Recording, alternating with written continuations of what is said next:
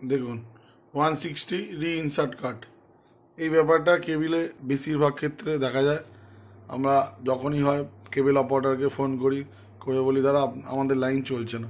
আগে ব্যাপারটা পড়তে হয় one sixty re insert cut মানে কাটটা রি ইনসার্ট করতে হবে।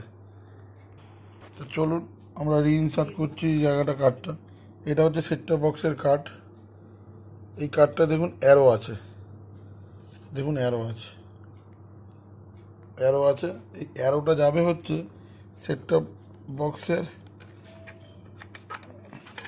করলাম বার করার পরে দেখুন অ্যারোটা আছে।